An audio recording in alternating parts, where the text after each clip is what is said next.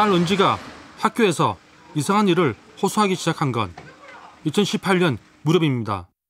계속 누군가 저희 아이 물건에 오줌이나 오물이나 뭐 이런 쓰레기 같은 것을 투척을 해서 계속 괴롭히는 사건이 났었고 횟수라든지 안 그러면은 어, 직접 입에 닿는 몸에 닿는 그런 음, 소변을 투척하는 행위를 발견하면서 좀 사건이 심각해진 거죠. 범행은 장난이라고 치부하기엔 도가 지나쳐 보였습니다. 학교에 둔 은지의 실내화가 소변에 젖는가 하면 손세정제 용기엔 소변이 채워져 있기도 했습니다. 개인 사물함과 개인 칫솔도 소변 테러로부터 안전하진 않았습니다. 괴로워하는 딸을 위해 직접 범인을 잡기로 한 아빠. 그런데 범인을 확인하고선 큰 충격에 빠집니다. 같은 초등학교 동창생이고 같은 학원에 다니는 저 친한 친구였기 때문에 그리고 그 친한 친구가 저희 큰아이한테 굉장히 잘해줬다고 하더라고요. 그렇기 때문에 그 충격은 정말로 더 컸을 수밖에 없었죠. 소변 테러 가해자는 자매와도 잘 아는 사이인 중학생 피군. 은지는 충격에 하혈을 할 정도였다고 합니다. 어, 저희 딸들은 지금 외출을 전혀 못하고 있고요. 그 다음에 어디 외부에 나가려고 해도 저희 부모들의 도움을 받아야 되고 저희도 지금 3개월째 저희 아내와 저는 이제 회사를 그만두고 아이들 계속 병원 치료와 아이들 보호에 지금 전념을 다 하고 있는 상황입니다. 즉시 학교폭력 대책 자치위원회가 소집됐습니다. 대전 중부 경찰서는 해당 사건을 검찰에 송치합니다. 적용된 혐의는 건조물 침입과 재물 손괴. 이때까지만 해도 피군에 대한 강력한 처벌을 믿어 의심치 않았다는 아빠. 아- 그런데 기소유예로 사건이 진짜 종결돼 버렸어요. 하루 만에 네. 되게 저희가 뭐 어떻게 뭘 해볼 손도 써보거나 뭐 가해자 측을 만나서 진실을 듣거나 사과를 받거나 이런 아무런 행위 없이 그냥 사건이 그냥 끝나버렸어요. 12월 31일, 31일고. 뭐 하루 만에 종결됐으면 뭐 변호사 선임할 그거 뭐 그런 것도 사실 없었겠네. 저희는 그냥 변호사비만 날린 거죠. 검찰이 불기소 처분의 근거로 든 것은 당시 가해자인 피군의 나이가 13세로 형사 미성년에 속하기 때문이라는 거였는데요. 바로 촉법 소년입니다. 그럼 연령이 이렇게 좀 걸쳐져 있는데 그러면 만 13세 이전 당시에 했던 범행들이 약 한 7건 정도 그렇게 음, 음. 그 연령 이전 건에 대해서 뭐 어떻게 뭐 따로 처벌을 받았다든지 전부 다 무혐의, 불기소가 전부 다 무혐의 됐고요. 네, 공소권 없음으로 무혐의 처분을 다 받았습니다. 어, 아예 연령이 안 되니까 공소권 없습니다. 네.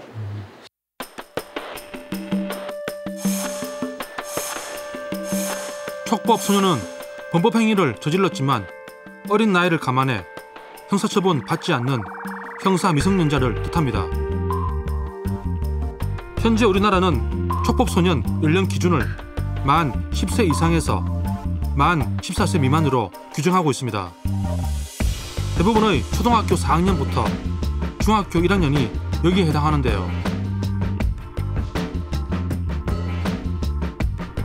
이 나이대의 청소년은 범죄를 저질러도 책임 능력이 부족하다고 봐서 형사처벌을 내리지 않습니다.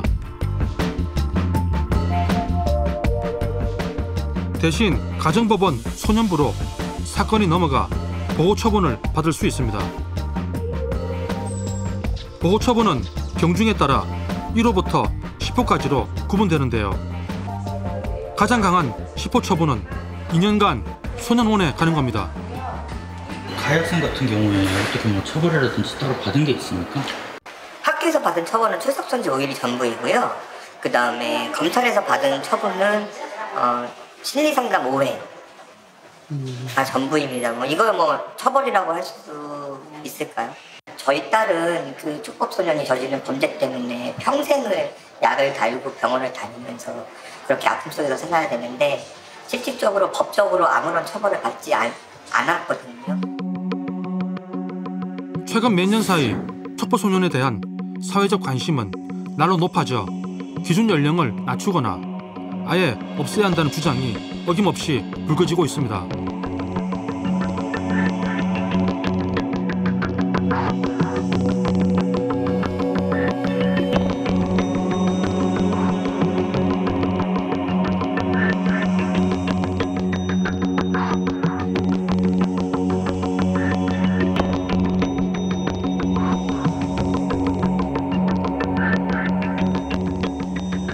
정부도 이런 분위기를 반영해 범죄를 저질러도 처벌받지 않는 촉법소년 연령을 낮추는 방안을 추진 중입니다.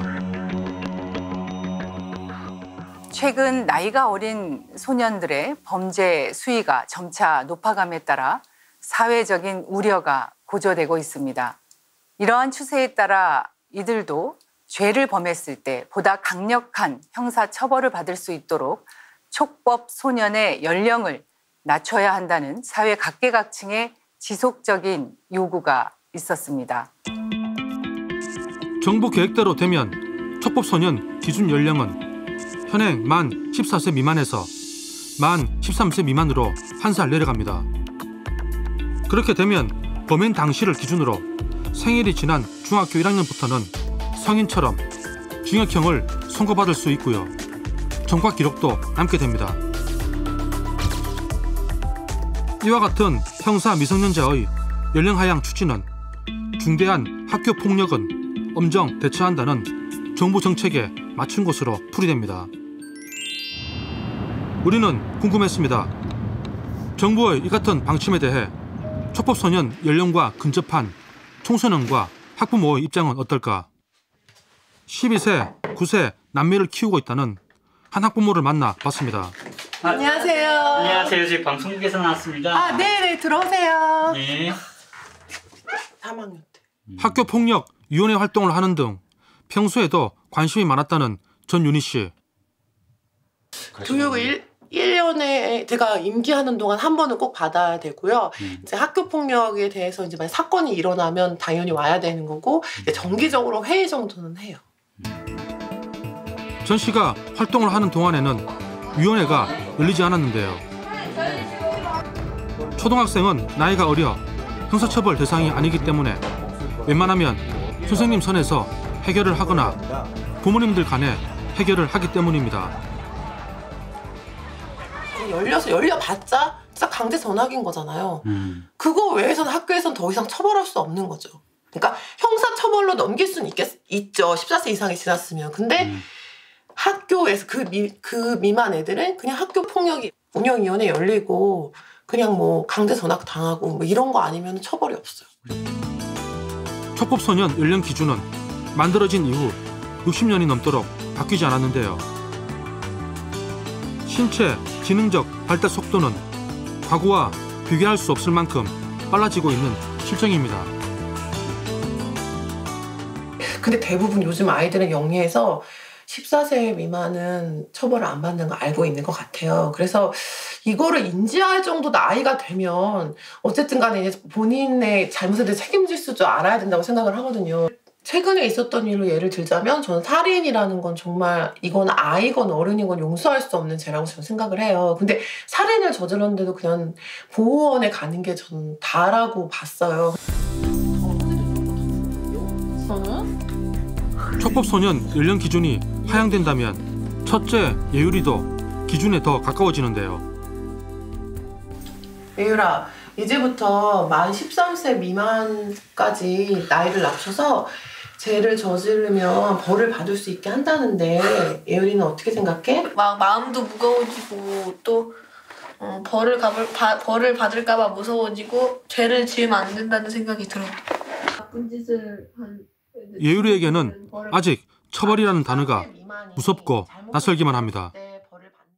만 13세 미만이 잘못을 저질렀을 때 벌을 받는 게 좋다고 생각해? 나쁘다고 생각해? 나쁘다고 생각해요. 이유는? 그냥 어려서부터 벌 받으면 좀 그렇잖아요. 그렇고 또 어떤데? 너무 나쁜 짓을 한 이제 친구들은 벌을 받아야 된다고 생각해요. 나쁜 짓을 한다면 벌을 받아야 된다는 입장은 엄마 전 씨와 같았는데요. 그쵸. 대들고 이제. 나이에 상관없이 잘못에 대한 처벌은 반드시 이루어져야 한다는 겁니다. 너는 촉법소년이기 때문에 괜찮아 처벌 안 받아. 그럼 아예 범죄가 솔직히 한 번이 무- 한 번이 어렵지 모든 일이던 두세 번은 쉬워지거든. 특히 나쁜 일은요. 처음에 그런 일을 저질렀을 때 진짜 따끔하게 벌을 받게 하면 뭔가 저는 교화도 더 되고 이제 그런 일을 다시는 아 내가 정말 잘못을 했구나 이렇게 뉘우치게 되는 경우도 있을 수 있다고 생각을 해서 처음 저질렀을 때 처벌을 강화하는 게 맞다고 생각을 해요.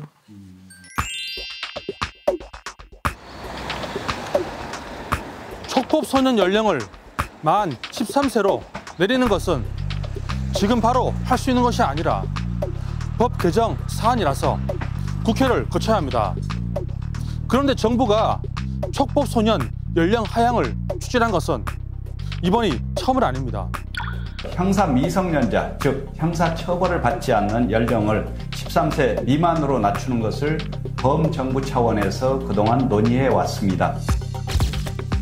1953년에 만들어진 형사 미성년자 기준 14세 미만이 지금까지도 그대로 적용되고 있는 것에 대해 조정이 필요하다는 공감대도 있었습니다. 수차례의 공언에도 약속이 지켜지지 않는 것은 각 부처의 칸막이 행정과 그때만 반짝하고 많은 중시권의 무관심 때문입니다.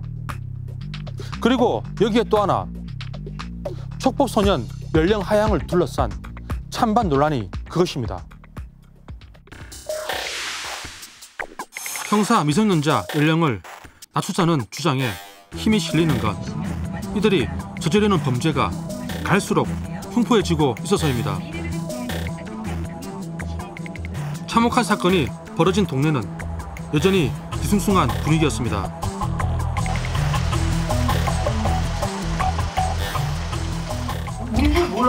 여기에 있었던 거 맞죠? 여기 네, 그건 그건 뭐 맞다고 얘기해야지 본인 말하면. 서로 간에 입도 뻥끗 안 하니까. 이 아파트 복도에서 친구와 놀겠다고 나간 초등학생인 B양이 발견된 건 지난해 크리스마스 무렵입니다. 피를 흘리며 쓰러져 있던 B양은 온몸에 흉기에 찔린 듯 보였는데요. 즉시 경비원이 112에 신고했지만 네. 병원으로 이송 중 안타깝게 사망합니다. 가해자, 피해자는 여기 안 살아요. 다른 데 살아요. 부모님 왜 그리고 가해자 집에 이제 왜 가해자가 놀러 오자고 해서 자기 집이 아니라 할머니 집으로 데리고 온 거죠. 경찰은 주변을 수색하다 같은 초등학생인 A양에게서 범행 사실을 자백받습니다. 일단은 가해자하고 피해자하고 친구고, 친구고 네 교회에서 만난 친구고, 근데 이제 어쨌든 둘이 친했는데 이제 가정이 조금 좋지 않은 상황이었는데 그거를 가해자 아이가 이제 소문을 내고 다닌 거죠. 믿었던 친구가 가족 험담을 하고 다닌다는 사실을 안 A양. 결국 해서는 안 될 끔찍한 선택을 하게 됩니다.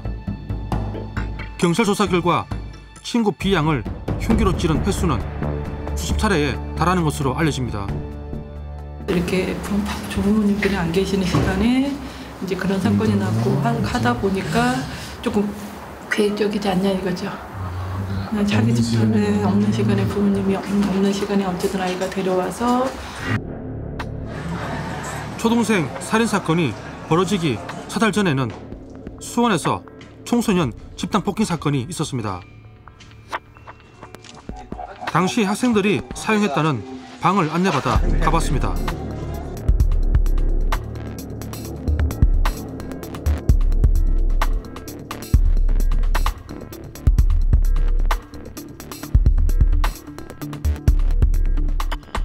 이 방에서 10여 명의 여중생들은 초등학생 C양을 집단 폭행했습니다.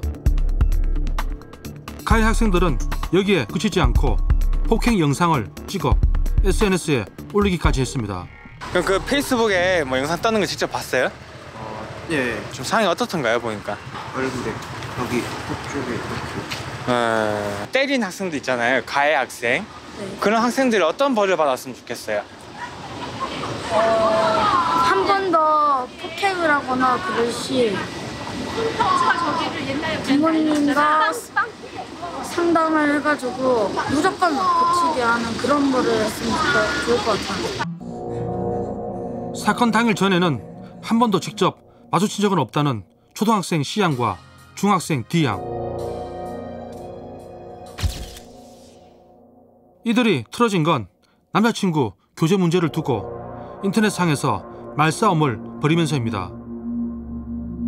격분한 D양은 C양을 혼내줘야겠다 마음먹었고 동참할 친구들을 모읍니다. 경찰 조사 결과 C양을 집단 폭행한 7명의 가해 학생들은 서울, 인천, 수원, 광주 등 최소 4개 지역에서 모인 것으로 확인됩니다. 정리하면 마음에 들지 않는 초등학생을 혼내주기 위해 원정을 갈 친구들을 모으고 집단으로 폭행을 했다는 건데요. 그 대담성에 혀를 내두르게 됩니다. 네, 이제 무서운 중딩이라는 그런 그 말이 있는데요. 어, 최근에 그 범죄백서 통계를 살펴보면은 이 촉법소년이 저지르는 살인이라든가 그리고 이제 강도 또 성폭력, 방화 이런 강력범죄 비율이 굉장히 그 해마다 이렇게 증가하고 있습니다. 그리고 또 어, 빠르게 확대되고 있습니다. 이처럼 범죄의 체질은 어른 뺨치게 잔인해지고 있지만 가해 청소년의 연령은 낮아지는 추세입니다. 앞서 보신 동급생을 흉기로 찔러 숨지게 한 가해자 A양의 나이는 초등학교 5학년 12살이었습니다. 노래방에서 초등학생을 구타한 가해 학생 7명은 모두 2006년생 중학교 1학년이었습니다.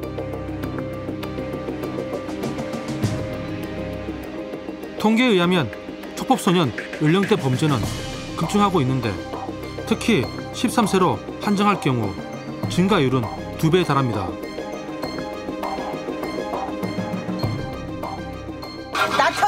괜찮다고 생각해요. 왜 그렇게 생각하세요? 정말 요새는 너무 성숙하니까 애들이 성, 너무 성숙해갖고 그런 걸 잘 뭐라고 할까 옛날에는 좀 우리들 옛날 시대에는 그걸 좀 애들이 어리석겠다고 하지만 지금 너무 애들이 영악하니까 그런 사건이 좀 나는 것 같아요. 그러니까 상황이 이렇지만 이들 촉법소년 중 일부는 스스로 형사처벌을 받지 않는다는 걸 인지하고 범죄를 저지르기도 합니다.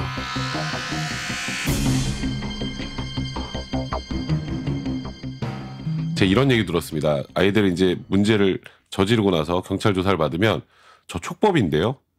아, 아이들이요? 네. 저 촉법인데요라고 얘기를 한다고 하더라고요. 때문에 처벌 대신 규정하자는 법 취지는 좋지만 나이가 어리더라도 사회적 해악을 저지르면 불이익이 온다는 경각심을 좀 더 명확히 줘야 한다는 주장이 설득력을 얻고 있습니다. 지금보다 촉법 소년 연령이 내려가면 청소년들에게 이렇게 하면 안 되겠구나라는 효과도 있을 거란 겁니다. 영국과 이제 호주 같은 경우에는 아, 이제 10세 그리고 이제 캐나다와 네덜란드는 이제 12세 또 프랑스는 이제 13세로 이렇게 낮추고 있거든요. 또 형사처벌은 예, 미성년 연령을 14세보다 낮추는 그래서 13세 또는 12세 정도로 낮추는 그런 사회적 그런 그 변화에 대응하는 것이 이렇게 이제 예, 필요하다고 이렇게 이제 보여집니다. 연령을 낮추는 것에 대한 반론도 만만치 않습니다. 촉법소년의 연령을 하향하는 것이 과연 소년 범죄율을 낮추느냐 하는 문제 때문입니다. 오히려 너무 어린 나이에 범죄자로 낙인 찍어 재범 환경에 노출될 뿐이라는 지적인데요. 어떻게든 사람이 사회화가 되려면 학교를 다녀야 될 거 아니에요. 네. 그런데 너무 이른 나이부터 학교에서 쫓겨나는 일이 이제 발생을 하면 학교로 못 돌아가게 될 거라는 거예요. 그렇기 때문에 지금 성인 이제 흉악범들 중에 제일 중요한 공통점 중에 하나는 거의 대부분 학, 학력이 중학교 중퇴예요. 예. 그러면 그렇게 중학교 중퇴자를 좀 더 양산하는 정책이 과연 재범률을 떨어뜨릴까 하는 것은 그건 그렇지 않아 보인다는 거죠. 소년법에서는 소년을 처벌의 대상이 아닌 보호의 대상으로 여기고 있습니다. 따라서 성인법과는 달리 소년법은 처벌보다는 선도, 교육의 역할이 더욱 강조되는데요. 이것이 바로 소년법의 취지인 국친 사상입니다.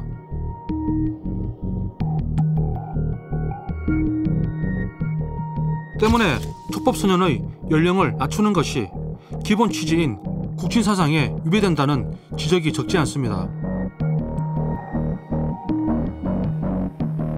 또한 14세 미만의 범죄율이 늘고는 있지만 전체 소년범 14세 미만 아동이 차지하는 비율은 낮은 편에 속합니다.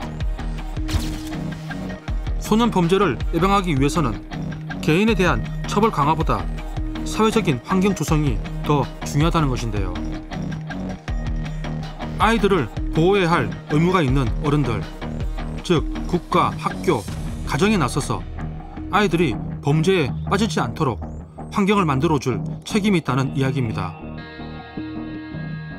피해자를 안전하게 보호해야 되는 학교의 책무, 선생님의 책무가 틀림없이 있고 그런 부분에서 교육기관의 책무를 좀 더 넓힌다거나 피해자 보호를 쉽게 받을 수 있도록 여러 가지 서비스를 좀 더 개발한다거나 이런 것들은 사실 국가가 해야 되는 일이죠. 그런데 그 피해자의 보호를 하는 일을 가해자에게 응징을 하는 것밖에 없다고 생각하면 그건 더 이상 말이 안 되는 거죠.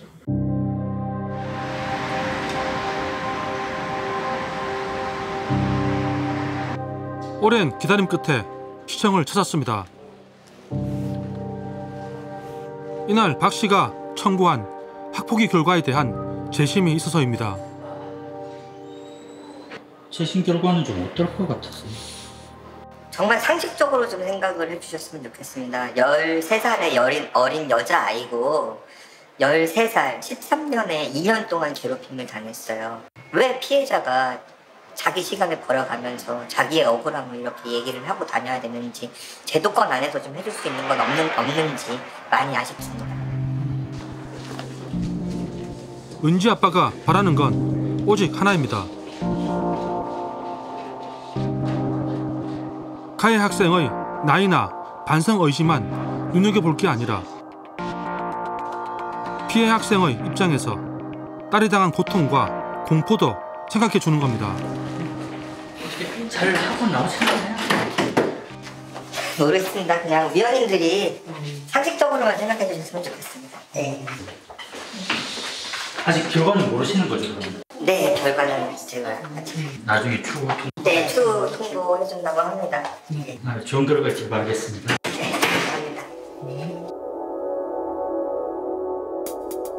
촉법 소년 연령 하향에 대한 논란이 있다면 공론화를 통해서 지혜를 모으고 사회 구성원들이 납득할 만한 결론을 도출하면 됩니다.